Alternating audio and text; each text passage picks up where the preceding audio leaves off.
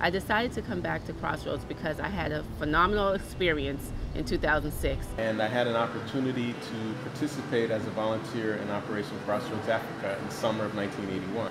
My wife also is a Crossroads alumni, uh, having been in Liberia in 1978. My first contact with Crossroads volunteers goes back to 1982. I was about 13 years old when a group of Crossroads came to my village um, of Penyem in the Gambia. The mission is not to develop Africa. Uh, the mission is to develop cross-cultural relationships, uh, friendships among people on the continent and Americans.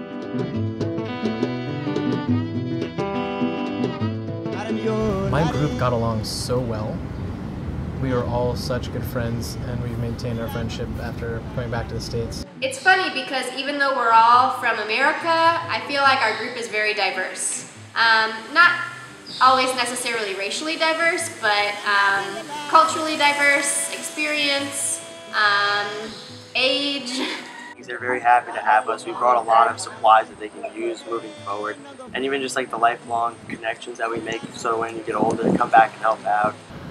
I have a special connection with Operation Crossroads Africa, and I can't it feel like everybody, the alumni, you just can't let it go. Everybody I keep in contact with through phone or Facebook. I see that clearly seven weeks. A lot of magic had to occur for folks to you know, continue the relationship 5, 10, 15, 20, 30, 50 years out.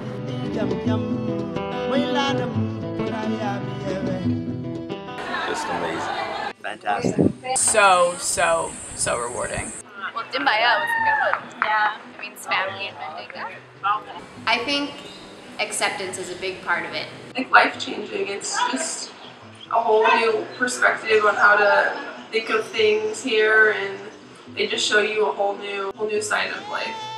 It's a not-for-profit making organization, and we have kept that legacy because with James Robinson, he wanted to make sure that this organization is affordable. You are put with a group of people who are so diverse in the first place, outside of Africa, and then you go into a place where you have never been, some, most of us. Well, then also, I guess, the fact that uh, the way that we're paired with local counterparts and working together, we're not, you know, we're not really working for them uh, they're not working for us. We're not like on our own independent project. And I think one of the things that made this program unique is that you learn by living with people that you're helping. For that to still exist in the world where immigration laws are all over the place and there's um, great uh, concerns of safety and a lot of people are afraid and there's fear for flying and there's a resistance to um, actual human contact versus social media. That's been some of the most rewarding parts of it. Another thing that I like is just the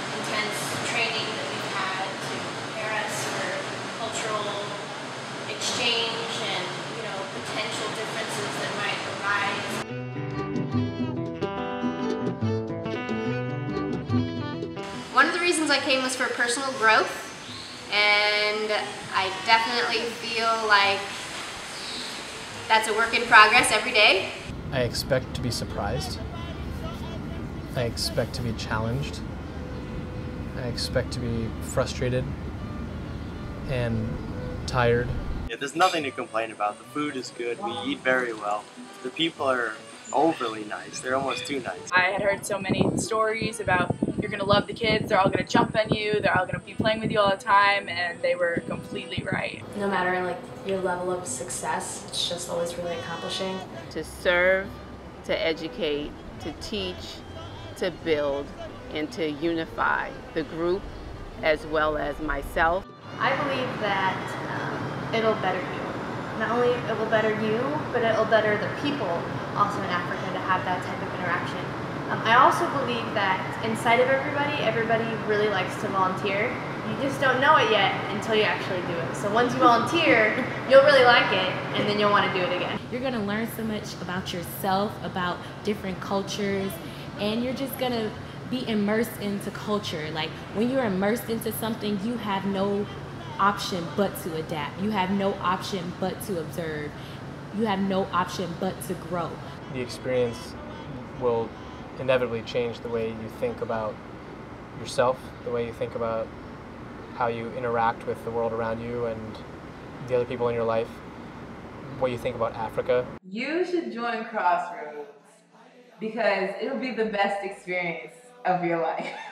Seriously, you will meet friends here, you will meet friends in Africa. I've had better things happen to me in my life because I was a, a part of Crossroads than if I had never been part of Crossroads.